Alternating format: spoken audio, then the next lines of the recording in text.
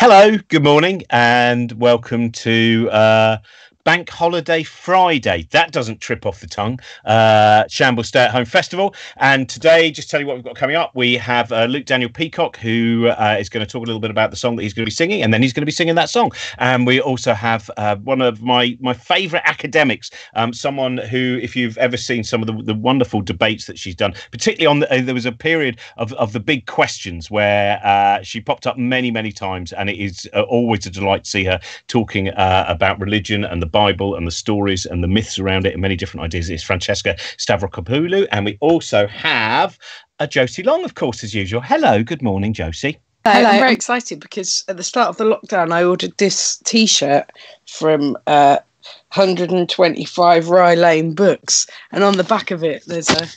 I can't even get it. Oh, it's a hard one to do, that one, isn't it? Yeah, there's a um, pictorial graphic.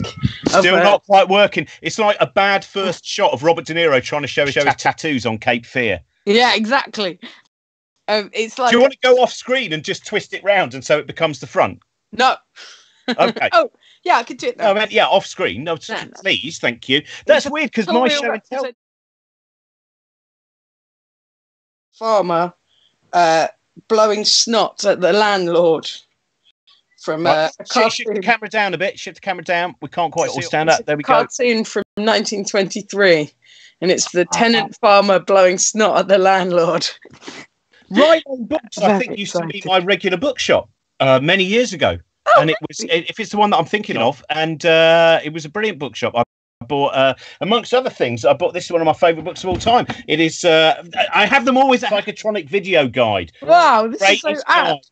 To to films that you may well never need to see uh, Angel of Destruction, Angel of the Amazon, Angels with Dirty Faces, Animal Instincts, Animal Instincts 2, Mad Ron's Prevues from Hell. Just a few of the great uh, things in that particular uh, academic tone. That's a wonderful t shirt. That, weirdly enough, is my show and tell. Is I was thinking I'll do t shirts today, and I was looking for the t shirt I had signed by Miranda Richardson. Oh. Because um, about I think it was 1988. It might be 1987, but 88. I think it was. There was a thing called Shop Assistants, and it was where in Covent Garden all of the shops had a celebrity working behind the counter. You know, Helena Bonham Carter, Jonathan Ross, that kind of thing. and the only person I wanted to meet because I was such a big fan of both Dance with a Stranger and Blackadder 2 was Miranda Richardson. Oh, she's so incredible in that so, so, and such a great actor generally, really. Uh, but I couldn't find that one. So what I did find though, why I've never got rid of this, I don't know. My first ever Smiths T-shirt, born bought from a market in Staines. Uh, there we go. That's uh, Morrissey, uh, Billy Fury somewhere there, Oscar Wilde, James Dean. and for the real aficionados of great early 90s groups, uh, one of my first eBay purchases was a t shirt of the band Cud. change because I'm rich and strange. I remember Cud. One.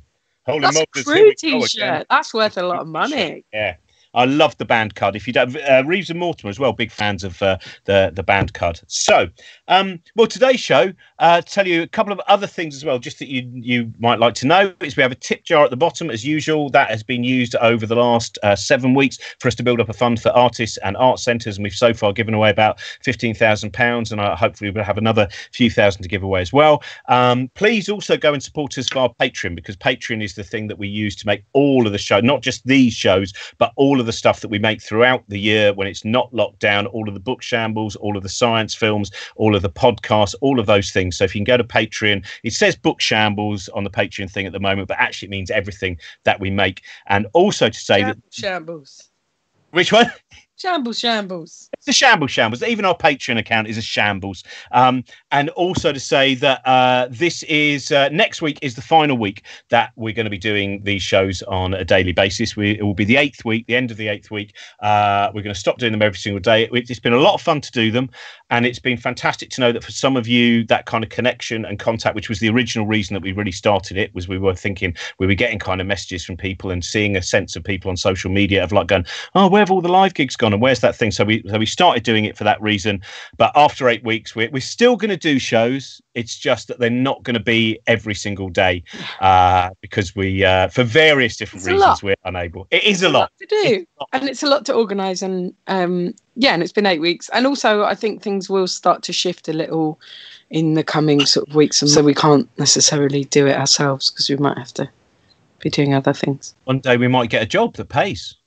Uh, in this dreamy land, um, but we will, um, but we will still be doing regular shows. There will be, and the whole of next week we'll be doing our final week of daily shows at uh, 10 a.m. and some at 10:30 a.m. And we've got Phil Jupitus and Sean McAuliffe and Jess Hitchcock and uh, loads of, of of really great guests talking about many many different things, different ideas. Uh, also, my friend Rebecca Peyton, um, who uh, I interviewed. If any of you have read uh, the book that I did, you might know of Rebecca. Uh, Rebecca's um, story and her dealing with uh, grief is something which is always uh, educational and useful. And if you get a chance, watch the uh, Rebecca did a fantastic speech at TEDx Brixton, um, and it's it's up on YouTube. Go and have a look at that. It's it's a really useful and brilliant piece of work, and she is witty and wise, and she is on with us on Tuesday. Mm. But should we now introduce our guest? Yes, that would be great. Oh, Um, I'm going to oh, yes. pause at eleven o'clock um, because uh, people are observing um, some a minute silence, maybe two minutes Two minutes silence. But we're going to yeah. take two minutes silence uh, just because otherwise I think it'd be a bit gaudy, be a bit gaudy chatting away. um, uh, yeah. I, but also because my sort of Quaker spirit is like for all victims of war.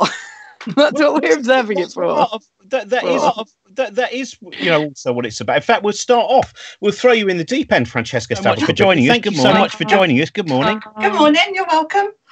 Well, that this is what we were talking about just before we started about the fact that this is one of those awkward things that's happened, which is this is an important day to remember. This is an important day to remember all of the things that were happening across Europe, and you know, and, and when we remember when we remember, you know, Buchenwald and Auschwitz, and we remember that for all of us, we probably have friends who grew up without at least one parent because uh, they lost during the, you know, this is, and there is, and then people of a liberal mindset, we start to get worried. Has it been entirely kind of, you know, kidnapped and taken hostage by, It's by, been by nationalism? Yeah, repurpose. That's a great way of putting it. So Yeah. how do you feel?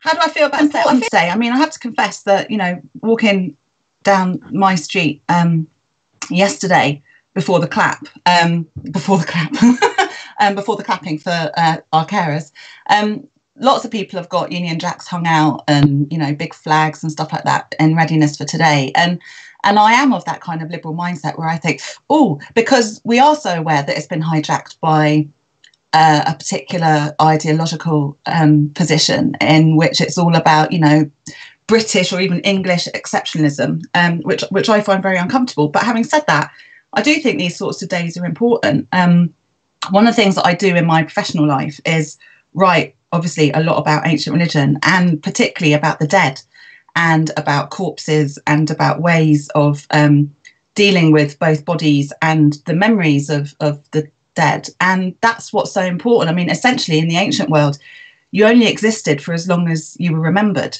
Mm. Um, so even though there wasn't necessarily a belief in an afterlife, like in that very kind of Western Christianized tradition that we have it today, there was still a sense that the dead continued to have a social relationship with the living, and the living had that relationship with their dead. And and you did only exist for as long as you remembered, and that remembered involved that remembering involved rituals and kind of special days, and literally saying the name of the dead aloud. Um, so in a way, this is our kind of this is almost like an echo of that, and and it is, of course, it's it's remembering all the dead, not not just you know the kind of the Brits and the Americans, and it's it's remembering everybody that was caught up in what was just horrific, and it's hard to imagine, isn't it? I mean, because I'm not of that generation where, I mean, my grandfather, my English grandfather, fought in the war, but he died just before I was born, so I've not really heard those stories. I mean, I know, I mean, my grandmother had this Nazi flag that he had kind of, he was helping liberate some of the concentration camps, I think in Ger- in Poland, um, and took this sort of, as they all did, they took, a lot of troops took memorabilia, I suppose that's the best way to say it. And she had this flag and she donated it to a local museum because it was in his stuff that she went to after he died. And, and it's, it's strange that we kind of, you need material and social stuff, events, objects, things in order to help us to remember. So yeah, two minute silence I think is really important today.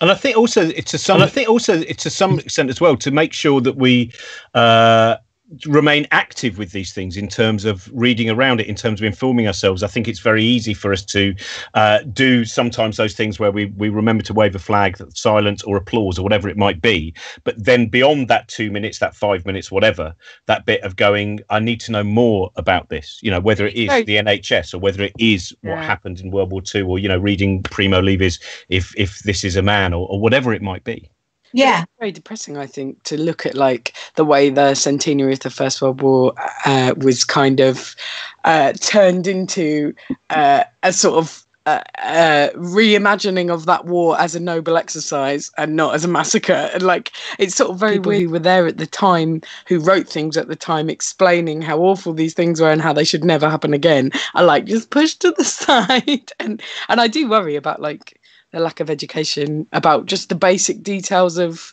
why certain things, you know, why the wars ended and who ended them and that sort of thing. Yeah, look, but there we are the First World War is the one that the First World War is the one that I was just reading about that the other day, and just realizing that the whole the beginning of that, the Archduke Ferdinand, the whole thing was so it, it was so clumsy. It was someone went off to uh, assassinate him and then failed, and then went to go and get a sandwich, and then it just turned up that Archduke Ferdinand's car happened to go down the same street. And he went, "Oh, I was just getting a sandwich, but I've still got the." I mean that this this this this clumsy act of assassination then leads to. I mean, I'm I'm very fortunate in the fact that um, my my dad's family and my dad in particular has always been very careful when someone's died to to make sure keep all of those important things. Yeah. And so I have all of my granddad's letters from the trenches in the First World War. You know, the the Somme and places like that, and uh, and and having that that history, that that tangible history, I think yeah. is is that connection is really important.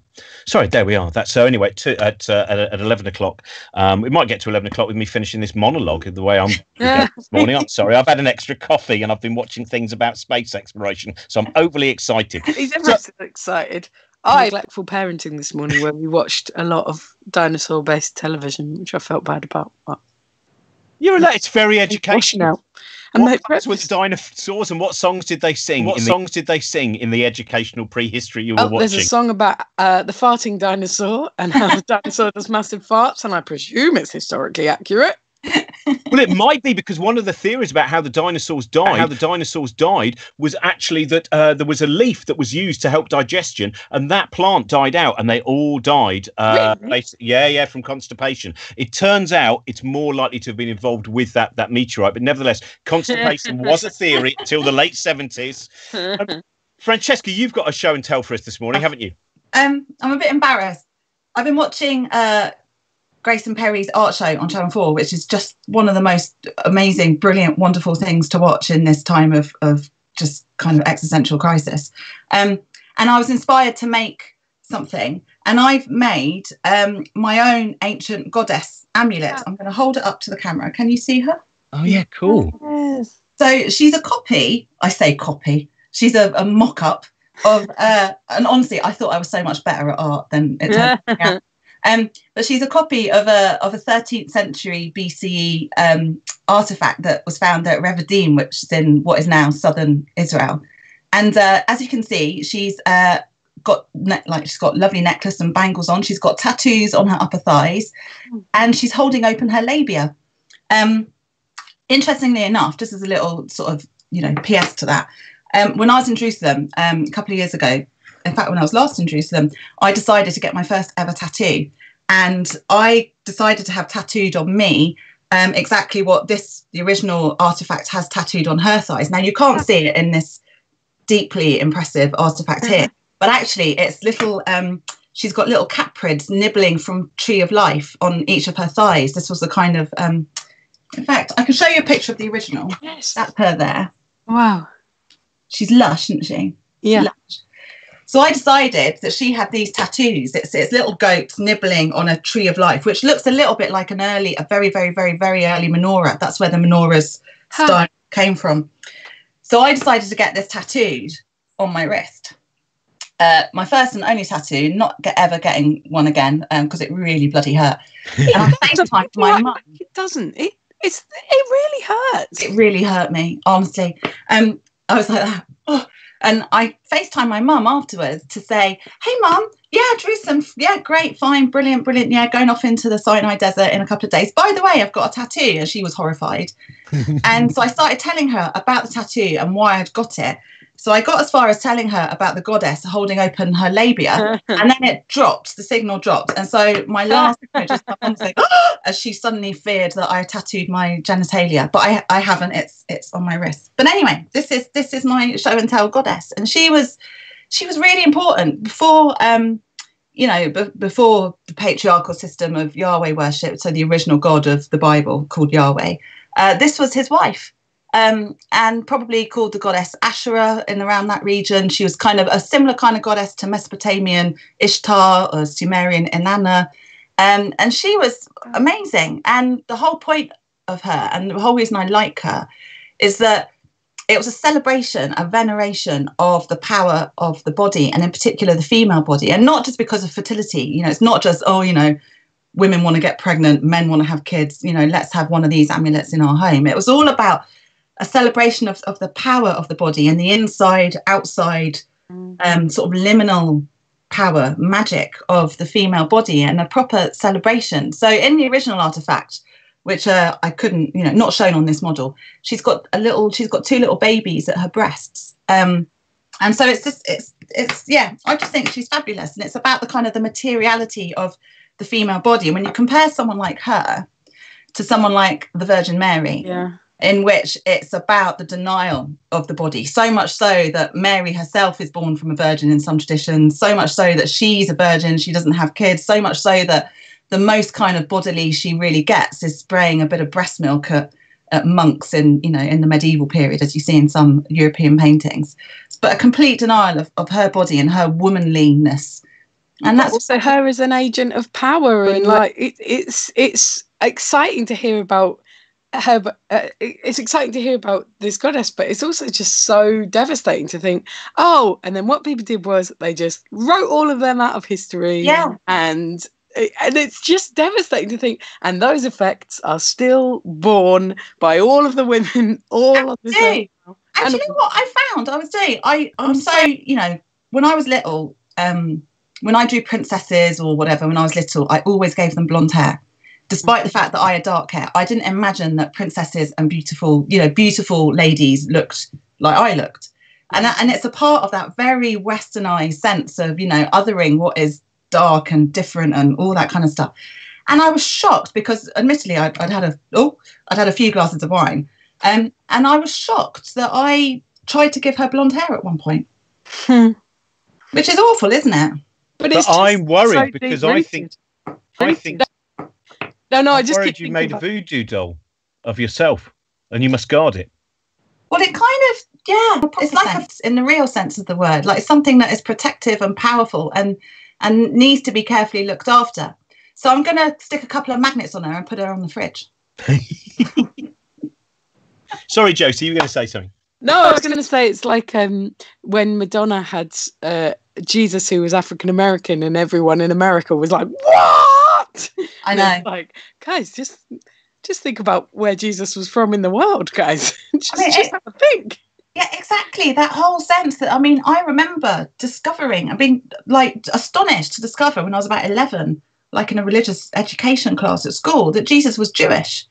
and of course he was Jewish, and he obviously, you know, obviously he's Jewish, but like that kind of sense that somehow they always downplayed that bit though. Oh, totally. I know. There's a lot. Yeah, I mean, honestly, the Gospel of John is one of the most anti-Semitic ancient texts uh, in the world. But there is that sense in which this, again, it's like that hijacking of something and making it reculturally, repackaging it. You know, making making it in our own image.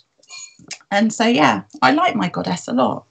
Well, that's it. Have you seen? Because I you, you, you read proper you, um, you, read proper um, tomes, whereas I like comic books. Uh, but there's a, a, really good comic book called uh, I'm sure we've mentioned this before, "Fruit of Knowledge: The Vulva versus the Patriarchy," and and it is, and it's the whole history of what you were just talking about. All of these images that have you know that, that were part of you know, gargoyle like images those images to ward off evil and they all included you know images of the vulva and all and that and that is uh, yeah. to me a fascinating i mean that must be so much of, of your work must be going wow isn't it incredible how quickly something which has sometimes been part of culture for centuries can be erased yeah and and the role of the Bible in that in particular is it's appalling. It's, it's it's a kind of brutal history of silencing and erasing and reworking. I mean, the Bible.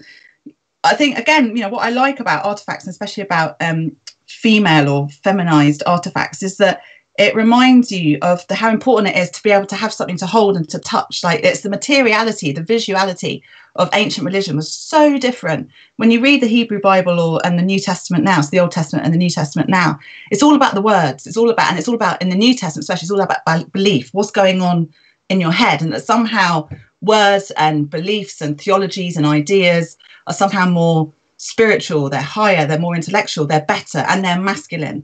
Whereas compared to the kind of the fleshy, muddy, clay reality of bodies and, and particularly female bodies being somehow lesser and dirty. And you just see and, it reflected in discourse and in society now all the time. You know, you see people p- behaving as if their objectivity is like the ultimate goal and the, and yeah. the other people's god it's so funny it's so bleak to sort of feel the fumes of it all around you the whole time but it's weird as well because there's, you know, you, you, see a lot of like neo-pagan um, movements today, which I absolutely love. Um, I, I just think they're amazing. But they, you can you can see how religion is trying to they're trying to reinstate the goddess, as it were, you know, to kind of and her relationship, you know, environmentally and, and ecologically with the earth and with humans and animals, and which is all brilliant, and I love that. But you kind of see though how it's still very ingrained in these very westernized patriarchal models and tropes. It's still it's still about the, a reinvention. It's not kind of a going, you know, people think that they're reclaiming this ancient past where the goddess was supreme. And and she wasn't. I mean, she was she was the whole point was that she was a, a social being who had to work with and alongside male and masculine deities. Um, the whole point was you had to have a group and you had kind of like gender was very fluid, particularly for gods and goddesses. It was massively fluid. So you could have, you know, gods and goddesses who, who could turn men into women and women into men and, and who could exhibit these very masculine or very feminized traits and tropes. And you know it wasn't life wasn't quite as as easy um, in that sense for humans who tended to be more strictly policed socially in terms of their gender. But yeah it was all about diversity. Um, and that's just been completely you know even for those groups that try to reinstate the goddess today you know this sense that somehow we all used to worship goddesses um, you know, like in those amazing temples in Malta where it's just these brilliant, big, fat, healthy goddesses with big boobs and big bums and big vaginas. You know, it, that's it's not as if we all started off as worshipping the mother and then kind of was slowly sort of, you know, she was killed off by the father. I mean, there are elements of that, but there was always about the diversity um, of bodies and the diversity of genders and sexes, and and yeah, it's something that I do think about quite a lot. When was the? Because I, I picked up a book by the artist uh, by the artist uh, Merlin Stone, who wrote the, the when when God was a woman. I think the one I've got is the, is the Paradise Papers. But is that that was I think early seventies? Yeah. Is that when this really started to to return into the mainstream, or, or have there been throughout the 20th century various periods of time where people have tried to uh, say, here's the history which is very often crossed out? Yeah, I mean, you know, really, I mean, you know, since God, at least the 18th century in the Western intellectual tradition, you've had a lot of writers trying to um, reinstate the place of the goddess or say, you know, this is how it really was. Um, but I think particularly with the rise of, you know, feminism and feminism being taken seriously intellectually and not just politically and socially, but as an intellectual movement, um, it was it was really big. But yeah, I I think it's always been there, and it tends to be, you know, we do.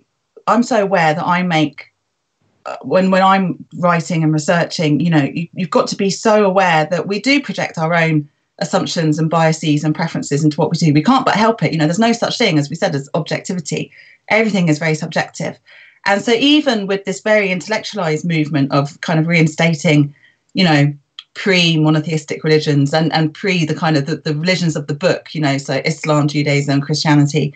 Um, before that kind of dominance, that cultural dominance, there there were still, you know, efforts to to to try to to talk about what the origins of religion were um, before those religions emerged. But I, I think they were still made very much in the model of those that were writing. So people like Merlin Stone, um, you know, and look at the neo-pagan movement in particularly in, in Britain at the beginning of the 20th century, which was really um, was a lot of that was made up and based on Victorian retellings of you know what myths and rituals in in pre-Christian Britain were really like and drawn well, well let's I'll tell you what I was just going to say let's let's come back and uh, with with with your question Josie in in three minutes time uh, we're just going to go to a hold screen now for about two and a half uh, minutes for 11 till two minutes past 11 and then we'll be back with uh, Josie and Francesca and any questions that you might have as well.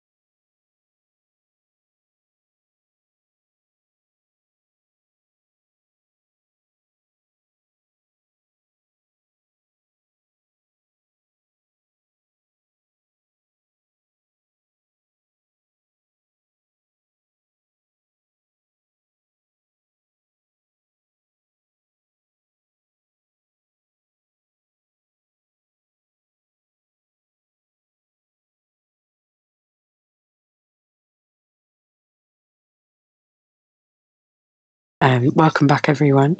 Yeah, uh, what we were talking about before then. The only comment I was about the only was, comment I, I just love that the Victorians were like, "We know what happened. We know. We'll just say it all. This is what happened in medieval times. This is what happened." Like they just the confidence of it. They were massive, like collectors of culture. You yes. know, like it was that sense of you know the Great British Empire, and then going around the world and collecting everything from you know tree species to to what you know to knowledge. And it was this sense of kind of collecting and kind of cataloging everything. And and you know we owe them a huge amount in that sense. I mean obviously we have to try and dismantle the filter um you know that they put around it.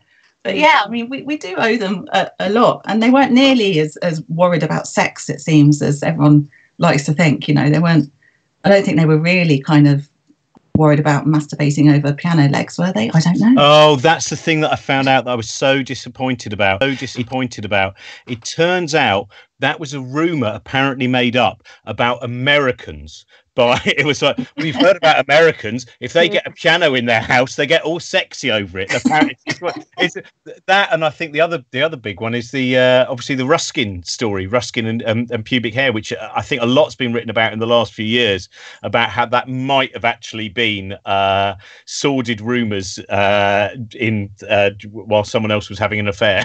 Was, we've, heard, we've, heard, about Ruskin. He was terrified. It was a werewolf. ran away. Um, but that that is. Um, I was going to ask you, uh, you. I know that you've had, you know, when you've made programs, there are certain things where there's greater consternation, and I think also there is. In fact, something I want to pick up on, which is one of the issues we have sometimes when we're trying to get to what is a, a greater level of evidence-based truth sometimes that also feeds into the narrative we have now, which is people finding the truth that fits them best. I mean, that's one of the hardest things, isn't it? Is finding that level of critical thinking. Because I'm sure you've had things which you've come up with through evidence based thinking, and people feel that they can just knock it aside because they've found their separate truth. They've found yeah. it and they've found a few websites and they've found, you know, some some some maverick pseudo historian who has allowed them to have the truth that they want. Yeah. And it's uh, you know, and and particularly when it comes to things like politics and God, you know what's going on still, and I can't ever see it being resolved. You know, um, territorial and ideological disputes between Israel and Palestine. I mean, when I made a program about King David and uh, sort of suggested on that program that he probably didn't exist, um, some scholars would disagree with me, but saying he probably didn't exist, and and you know there wasn't this kind of great kind of kingdom. Yes you know there was you know historically we can start to talk about ancient israel. Re- archaeologically only really from about the 9th to the 8th century bce rather than the 10th century bc which is david or even earlier than that you know moses abraham all fictional. You know not deliberately to kind of try and dupe people um, but you know they're mythic figures and you can't get back to it. It's like talking about king arthur. It's like well mm, yeah what well, we can't possibly know. So um so that that can create some problems because then you inevitably whenever you talk about the bible or middle eastern territories you, you inevitably get accused of um, you know batting for one side or the other or trying to undermine um, or confuse. Debates that are really difficult and i'm not an expert on modern middle eastern politics of course i'm not um, but it is hard. But then even when even even in my own field, you know, even within the university and academic setting, there are still, um, as Robin and I were talking not so long ago, there there are still a lot of my colleagues who believe when in you know the Bible's claims that Jesus was not only the Son of God, but you know, resurrected from the dead and then was taken up to heaven. And and they believe that, although they're brilliant scholars, you know, they can they can sit back and, and examine the texts and and you know look at the archaeology and look at the history of, of religion and religious ideas in that part of the world. See it as see early christianity as exactly what it was which was a subset a, a, minor jewish cult. And they can see all that and yet they can still say yeah but i believe it happened. And you know we know it happened you know that why would why would these writers say that he resurrected from you know from the dead after three days? You know it was a if you read um Tom Holland's recent book, uh, Dominion, which is um, quite a read, I have to say. And there's most of which, and I'm sorry, Tom, if you're watching, I completely disagree with um, everything that he basically wrote in it. But um, there is a sense in which it's this, you know, it's it's this kind of sense that somehow you can, you know, why it must have been a, a shameful thing for Jesus to have been crucified, you know, which was a method of execution, executed as a criminal. So surely they couldn't, you know, his followers couldn't have made it up that he was crucified. And surely, you know, really would they have made up that he that he resurrected from dead? Something must have happened. It's that kind of mindset. Well, like, but if you've done your research, and you know, a, long, a lot of my colleagues, they do the research. They they're far cleverer than me. A lot of them, and and yet they still maintain that yeah, this happened. It's a truth. Which I it's a hard thing though. Is I mean, because that's what I'm trying to think. Is because I that that is what we were talking about. That it's what we were talking about a few weeks ago, which is there is a part of the brain where the necessity, and I don't mean that as a physical, you know, I mean, there probably is, but let's not, we, there's going to be a long time before we find out about that. But the point that this place where certain needs of truth exist, where the debating brain, where the evidence brain, where the critical thinking brain doesn't seem to be able to access it. Yeah. If you see what I, and that to me is one of the most fascinating things, which and is. I, I like that. I like it because it's that part of the brain that there is there is about religious emotion. And i think i think sometimes you know we need to take seriously the sensory um almost physical aspects of emotion that leads to something like that like that not this but obviously in the ancient world something like this. It's that sense of the magic. And i think we should call it magic. It is you know but it is that that part of the brain that that responds to and craves another way of being in the world. Mm. some kind of access to another kind of world altogether and that that does seem to be something that's very deeply rooted in human beings um, and in human society not just human. I mean I, you know you look at very social groups of animals like elephants and chimpanzees and stuff and they also seem to have something of a sense of of that magic about the worlds in which they live. Look at the way elephants treat their bones and look at the way you know chimps treat their dead babies and stuff like that. There's a sense that they're engaging on that kind of level as well. They all got very excited when they saw the obelisk didn't they because they knew. That's the thing. They knew. They knew. That's good because I was writing about that this morning. This morning, that brilliant story about the Sentinel. Yeah, the original story and what it. uh But you, because Francesca, that's what we're talking about. Is that bit where I, have been banging on about this all week, but it's something everyone should see. The Jane Goodall documentary, the most recent one that, that, that came out. I think Brett Morgen was the the director. And when you watch the, and I know it's always this is the thing we were talking about a few weeks ago. That difficulty of dividing between the way that we project our empathy uh, onto other creatures and they're anthropomorphized. But when you look in, in, in the film, there is a lot of footage of when the chimpanzee group, when they got polio, when there was a huge epidemic there. And there's also the relationship between a mother and child that you see played out. And and it, I see that that be the idea that there would be a, a point of evolution of intelligence where only we, it would suddenly only this yeah. would develop any form of of of, of empathy. Of a, that that seems to be on you. This is not based on any science, but it just seems to me somehow doesn't quite sit with me happily. But that might be one of my faith-based. I mean, and equally, it might be one of mine as well because I'm a massive fan of animals, huge fan of animals, all animals, and and I am, you know, quite sort of soppy about them. But you know, we do talk about should we anthropomorphize animals, but but but is that really what's going on? I mean, is is it maybe it's just that we're not recognizing that we are far more like animals? That you know, oh, oh should we not animalize ourselves more to say this part of us, you know, this kind of this bit of us that can maintain social relationships with the dead, like elephants seem to be able to, or chimps, uh, you know, is that not something that's an animal part of us rather than a, a human part of us? I, I don't know. I am worried I anthropomorphize humans.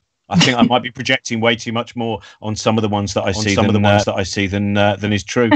um, Francesca, we better uh, wind up. And um, what? Where can people find? I know you're working on a book, so they can't get your book yet. Yeah, but it's uh, coming out next March, and it's very exciting. About God and God's body, and um, it's got pictures, but also lots of words. Um, and yeah, uh, it's it's basically God had a big willy, and uh, what are you going to do about it? Brilliant. So yeah, but follow me on Twitter because I'm always yabbing on Twitter and sort of talking about this kind of stuff over there. So um, find me at Twitter at Prof Francesca, and or just yeah, have a look at Google some of my stuff. Some of my books are on Google Books. And there are a lot of fun. And there are a lot of fun, as I said, on YouTube and stuff like that. A lot of fun stuff from debates you've done and events at Conway Hall and things like that. Yeah, so, yeah. So have those. on YouTube as well. So yeah, check it out. The main thing is, I'm relieved that your new book is not a pop-up book. Uh, so, um, Josie, uh, what I know some of the things you're doing today. Uh, I'm doing tonight. Uh, we do a regular Friday night comedy club, which is loads of fun. Um, and I think we're not doing one next week. So if you want to watch it, you should watch it now. Otherwise, you've got a two week wait. It's at half past eight on this same stream here. And it's John Luke Roberts, Johnny and the Baptist siblings, and Mark Thomas and me. And it'll be lots of fun. Uh, it's it's a, a, bit of a messy space where we're quite silly for an hour. And um, yeah, we'd love you to join us. Uh, it's a lot of fun.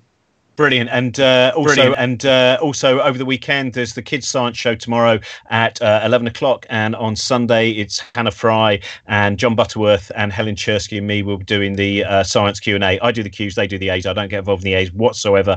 And then next week uh, we're back for Monday to Friday. That's the, as I said the, the last week that we're going to be doing a daily show. Uh, I'm really glad that a lot of you have kind of you know got in contact with us and that you have found it useful in terms of connection and all of those things. We will keep doing shows after that.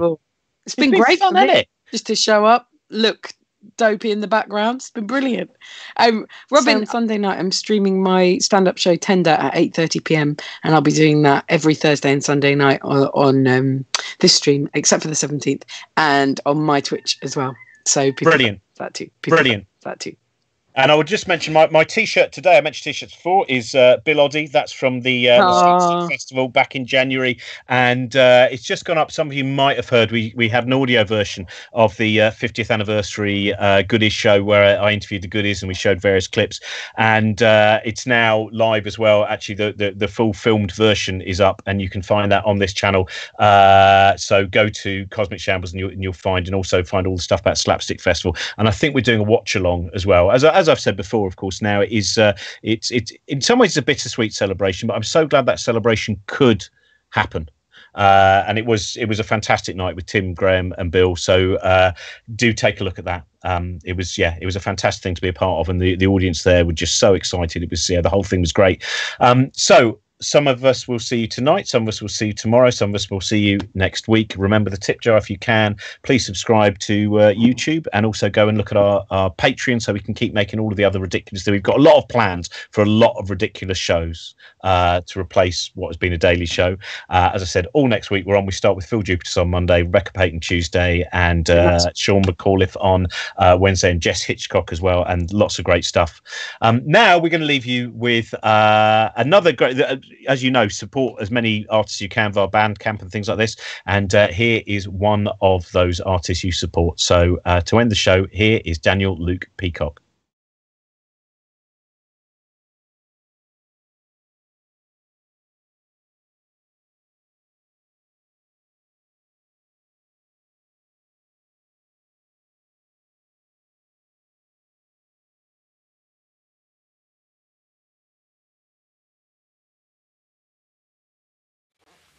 Remarkable decent song. I've got a bunch of new stuff coming though, so if you want to find out more, uh, just I'm pretty easy to find. Just look up Luke Daniel Peacock, chuck that into your search bar thingy, and and you should find me. Um, very chilled vibes here at the moment in in ISO. It's pretty early in the morning, and um, yeah, taking it very easy. So here's a here's a very chill version of my song called Older Than. Thank you very much again.